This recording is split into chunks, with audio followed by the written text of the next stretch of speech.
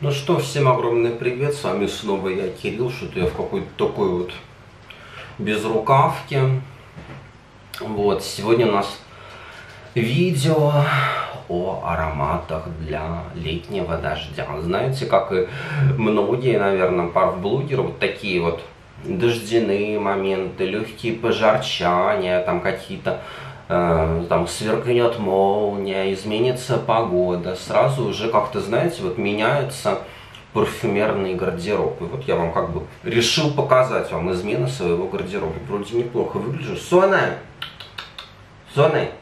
Сейчас покажу вам собачку. Бежит. Бежит ребеныш.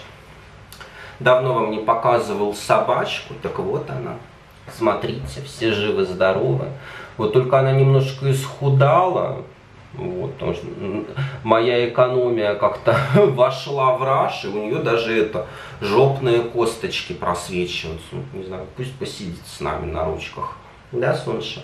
Давно ты не сидела. Ну и, конечно, первый аромат, это классика на дожди, которую я вам дико советую. Конечно же, это аура. Я уже вам ее, кстати, частенько показываю в последнее время, потому что ее мне реально не хватало. Мне не хватало вот этого вот аромата дождя.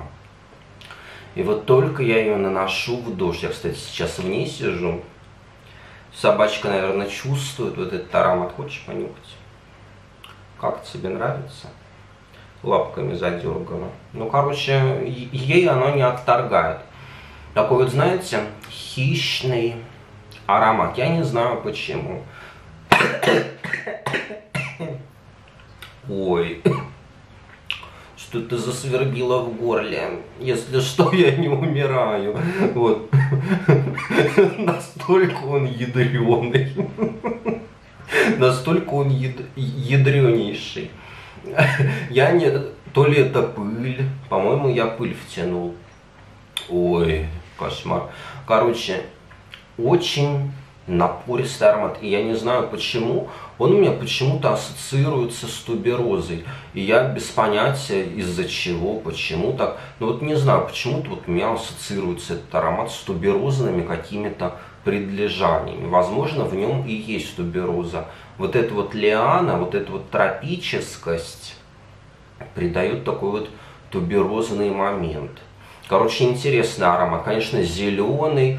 Он мне не пахнет болотами, мне он пахнет тропическими историями, то есть лианы, зеленые монстеры, такие вот какие-то плоды, возможно, даже маракуя. Очень сильный, очень ядреный, прям ядренейший. Для чего стало сидеть? Хочешь уже отправиться? Отправляйся. Вот собачка спрыгнула, а мы продолжаем. Два аромата у нас будет от Eisenberg. Мне показалось, что они прям идеально подходят. Вообще, знаете, Eisenberg один из моих любимых брендов. Вот, это... Давайте начнем с Love Affair. Так, так вот выглядит. Айзенберг один из моих любимых брендов, потому что это очень-очень при очень хороший, качественный люкс, вот, который никогда не предаст, никогда не как-то не, не вгонит вас в краску, всегда подойдет, всегда будет к месту. Особенно вот Love Affair, такая вот легкая, цветочно-фруктовая композиция, знаете, и вот она мне нравится тем, что она как раз-таки непринужденная, ой, пыли как много, непринужденная, легкая, такая вот звенящая. И в дожди такие вот композиции непринужденные, они очень хорошо раскрываются. То есть, знаете, не натужно как-то, как аура, например. Не, не натужно ярко, а вот нежно, игристо, блестяще. Вот. И вот здесь вот, знаете, в дождь Love Affair, он звучит, знаете, как, как звенящие какие-то вот колокольчики. Вот что-то в них, какая-то такая вот ассоциация. М-м, знаете, очень красиво. Вот знаете, даже вот так вот и не описать. Просто очень красивый цветочно-фруктовый аромат, который, ну, блин, должен быть у всех. То есть это прям твердыня люксовой парфюмерии. И следующая твердыня это Жозе такой вот аромат. он уже кардинально другой, в отличие от Лафефера, тоже пыльный флакончик, ужас, конечно. Все у меня такое, ой, кошмар, смотрите, какая пылюка. Смотрите, какую пылюку собрал с крышечки. Надо устроить чистку. Вот, и протереть все флакончики, а то они прям запылились конкретно, даже вот в шкафу когда. Но это они у меня когда на стеллаже стояли, наверное, запылились. Жозе это такой вот фужеристый даже аромат такой с небольшой мужинкой. Вот в нем в пирамиде заявлена лаванда, табак. Вот, впрочем, они и чувствуются на самом деле. Вот, лаванда тут добавляют, знаете, вот в эту всю какую-то то, также цветочную, серьезную немножко, но в то же время полетную композицию лаванда прибавляет какой-то стержень. И вот эта вот табачность. Табачность тоже уходит в такую вот фужеристость, морскость, морскость, фужер. То есть, знаете, вот мужские ароматы, там даже с приставкой спорт, например, Диор. Вот, вот эта вот фужерность и лавандость. Лавандость, лавандость, фужерность, табачность. То есть, знаете, какой тут табак?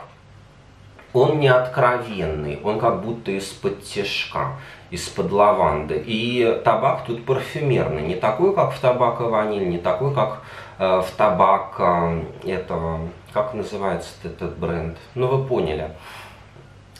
Блин, ну как же я забыл.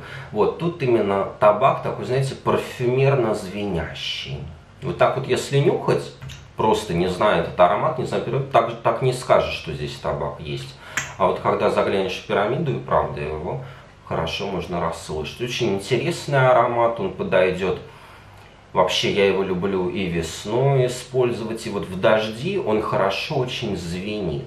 Ну, не знаю, вот как вам сказать, звенит, вот нота лаванды хорошо раскрывается в дождь. Хороший аромат для такой вот мужегонши. Если вы очень сильная девочка, то вам подойдет. Вот. Потом следующий аромат, который мне очень нравится и зимой, и летом, и весной, и это аромат стоит у меня в ванной. Вот такой он, в принципе, достаточно у меня универсальный. Это Аква Ди Парма Нобеля, Роуз, Пиония Нобеля. Такой вот аромат. Это вообще дымка для волос. Я люблю концентрацию дымок для волос. У меня еще Кюрджан дымка, Шанель дымка. Потому что, знаете, именно вот такую вот я не люблю, когда вот прям все в нос. Хотя иногда бывает такое настроение, когда хочется поражать, когда хочется побороть ароматом, как львиха, впустить когти в общество. А иногда хочется такой, вы знаете, легкости и какой-то такой вот простоты, что ли. И тогда вот дымки для волос играют очень красивую шутку. И сыграют очень красивую шутку, не знаю. Вот вы его наносите. И знаете, он достаточно незамысловатый, несложный. То есть тут главная нота пион и окружение из фруктов и жасмина. Вот такая вот, впрочем, знаете, это банальщина, но как он красиво звучит. Ну как он красиво звучит, знаете, легко, непринужденно, такое, знаете, именно классное дополнение к образу.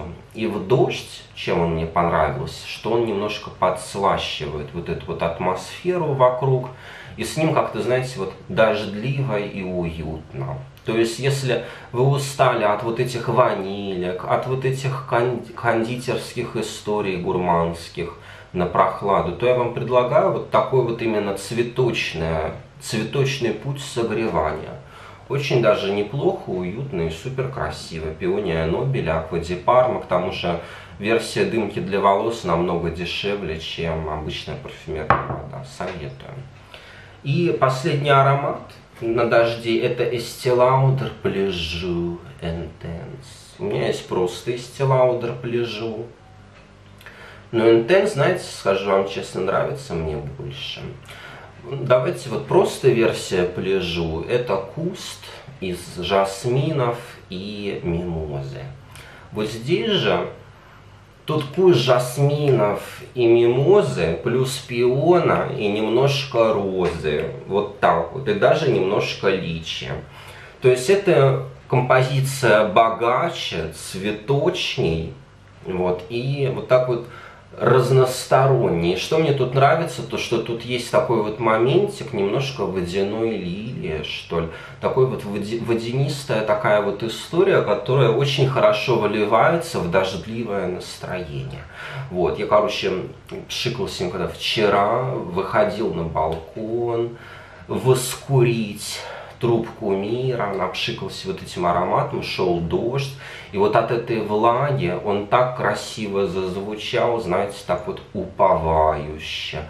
Как будто вот этот вот куст розы, пиона, мимозы, он так, так вот намок, и потом вот немножко сохнет, и листья расправляются. Конечно, очень красиво звучат такие вот влажные ароматы с лавандой, с такими вот свежими цветами именно в летний дождь. Конечно, очень красиво, живописно. Пишите, какие ваши любимые ароматы в дождь, где у вас идет дождь.